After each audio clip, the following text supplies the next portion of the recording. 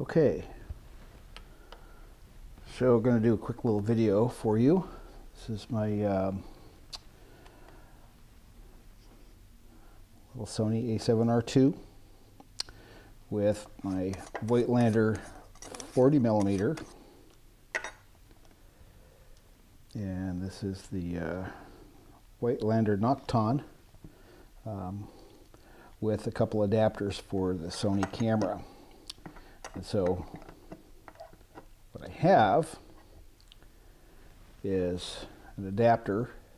This is uh, Voigtlander um, VM adapter for the Voigtlander or Leica M mount to the Sony E mount um, full frame. And this is just a solid piece. It's black, just like the lens that's on here.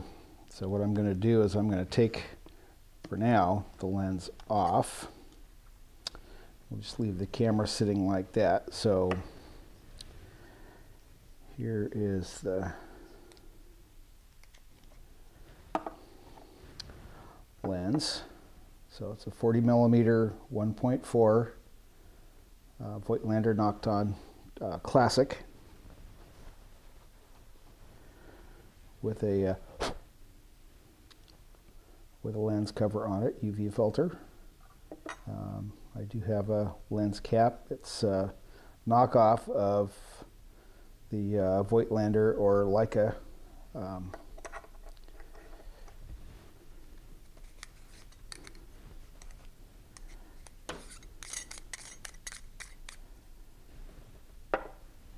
lenses and um, and that also works so I don't use that much. It's kind of bulky seems to be kind of in the way but I do leave my uh, UV filter on. So I have two adapters. One is the the Voigtlander. This one was an expensive one. It's made in Japan for E-mount. Again a Voigtlander not like a like I said in my text. Um, so you can see the Voigtlander here. The other one is just a cheap silver, very thin, plasticky feeling, but it is metal um, adapter. But what this adapter ring does is, so you can see the, see that it's flush here. So we can see flush, and then as I bring it up, it raises this up, this area up and out.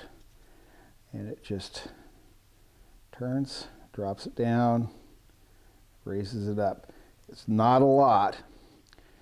And mostly what this for is what they call a close focus ring or a helic helicon or helicoil.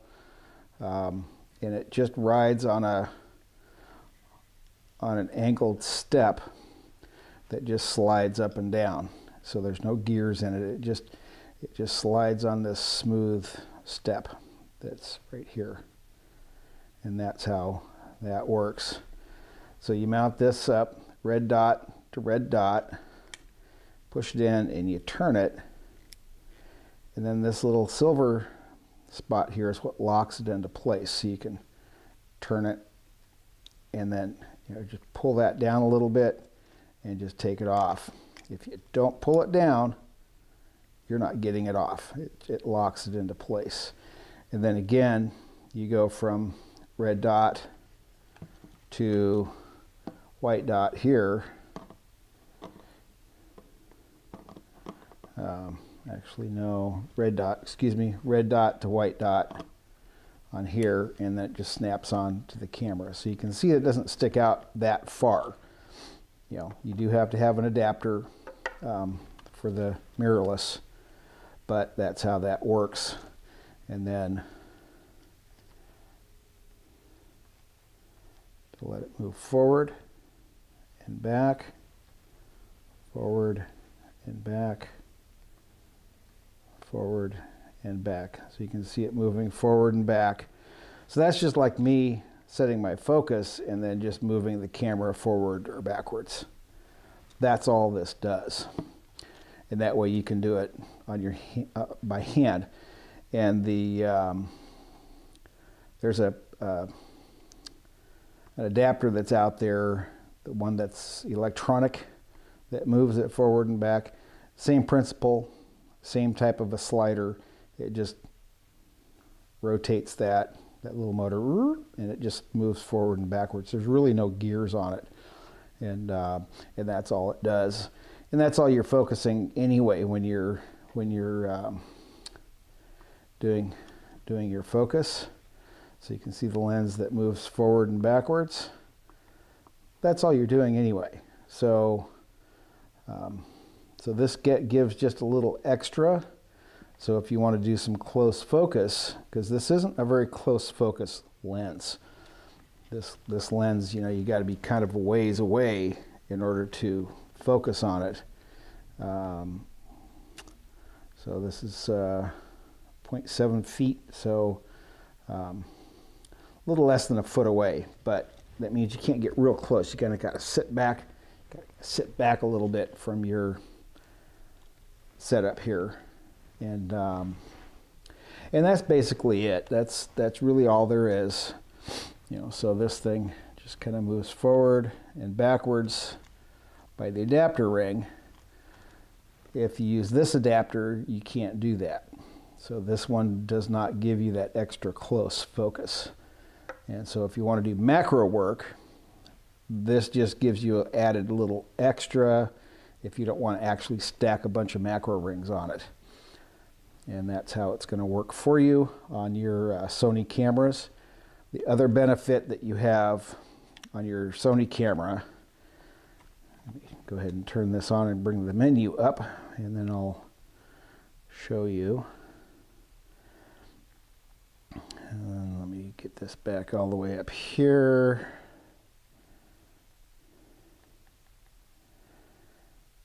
Yeah, so I'm going to go down here.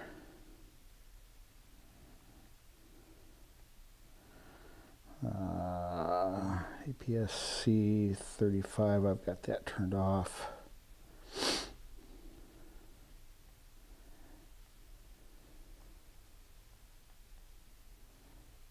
steady shot settings.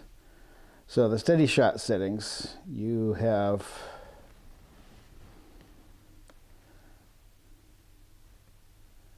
the ability to go up or down and select whatever you have. So this is 40, so then I select 40. So now I'm 40 millimeters.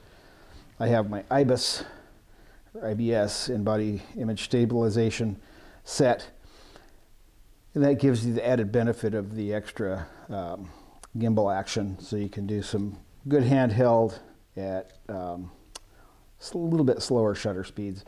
I'd still keep the shutter speed at least double what your uh, focal length is. And, um, and that's about it. So you've got an expensive one. They actually have a bunch of these on eBay uh, that are black, look like this, that are like 28 bucks instead of 150 bucks. That's what this damn thing cost. But this one is very precise. It's very nice. This one's good, but it's not super tight. But this you, you can't move it around. It, this one's locked in, and it's cheapo. This was like like 12 bucks, um, and you can buy these.